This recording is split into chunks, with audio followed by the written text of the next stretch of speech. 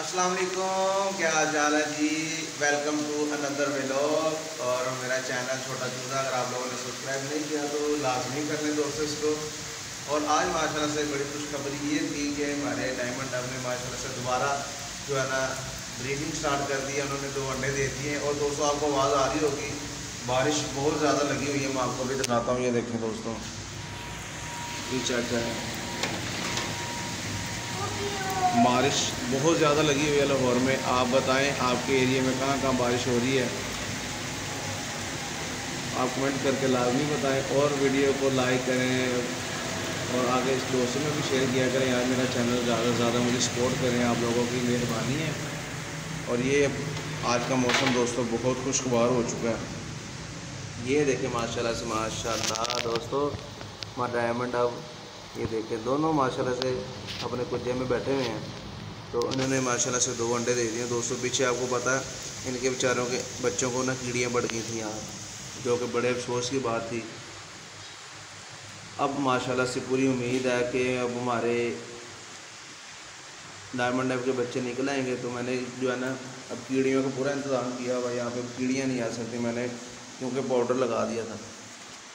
तो ये चेक करें, माशाल्लाह से दोस्तों, हमारे जो है ना, जैबरा फिंच ये देखें। अंडे दे जा रहे हैं और ज़ाया करे जा रहे हैं। ये देखें, ये पहले तो इस बॉक्स में, ये इस बॉक्स में, ठीक है जी? और अब मैं आपको ये वाले बॉक्स में दिखाता हूँ, कितने माशाल्लाह से अंडे आप देख के हैरान हो जाएँगे कि यार, इतने सारे अंडे हैं। ये देखें, माशाल्लाह से पाँच अंडे यार दोस्तों।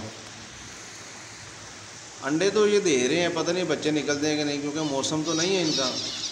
तो मैं खुद बड़ा हैरान हो गया, यार इनके इतने सारे अंडे हो गए हैं तो माशाल्लाह से पता नहीं बच्चे निकलते हैं कि नहीं निकलते।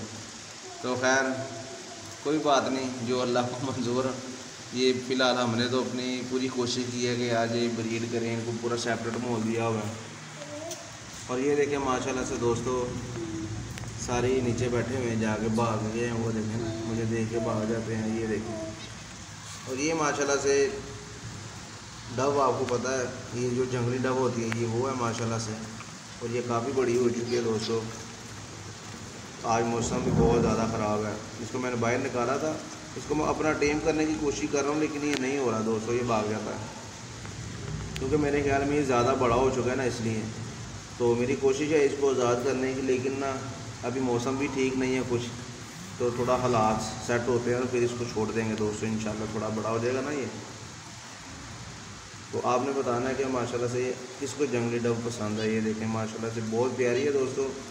और ये थोड़ी जब बड़ी हो जाएगी ना, जब फुल बड़ी हो जाती है, इसके सीने के आगे जो गर्दन की नीचे वाली जगह होती है ना, वहाँ पे इसके डोट ब्लैक कलर के बन जाते हैं और जो इसको खूबसूरती में बहुत ज़्यादा अच्छे लगते हैं। तो अब ये देखें कि इनका क्या बनता है। कितने अंडे दे दिए इन्होंने।